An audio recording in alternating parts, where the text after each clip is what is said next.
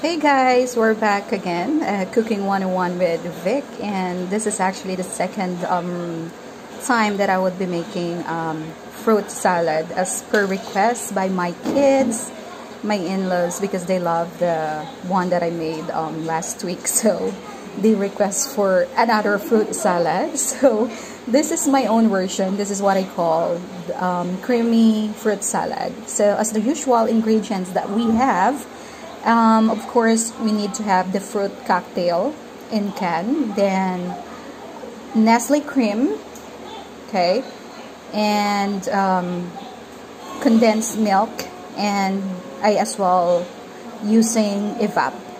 And to make it more creamier, I always prepare um, cheese. So I slice the cheese into a small cubes. So this is what I have right now.